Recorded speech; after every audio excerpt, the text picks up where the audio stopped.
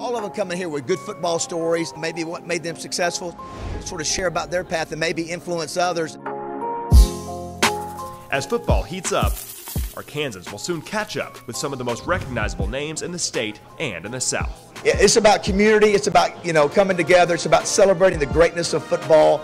This morning in downtown, Little Rock Touchdown Club unveiled its speaker lineup for the upcoming season.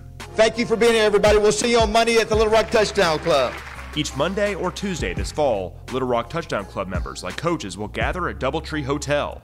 Since launching in 2004, the organization has grown to now have more than 500 members, drawing big names that demand attention.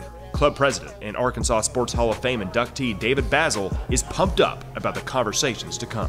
You're bringing in some of the most recognizable names in the history of college football. I mean, you look at, you got Heisman Trophy winners, you've got the NFL Hall of Famers. I think it's a really a good mix of both national and state. You got Darren McFadden, one of the greatest Razorbacks to ever play. So maybe don't get a chance to go up to Canton, Ohio, but you can come to Little Rock to a touchdown club and get a chance to meet and get your picture with a uh, Hall of Famer, which is pretty cool.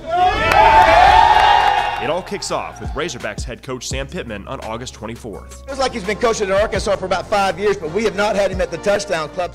Legendary broadcaster Verne Lundquist visits ahead of the college football season opener. And how about Vince Young, the Longhorns great, speaking on the week that Arkansas hosts Texas?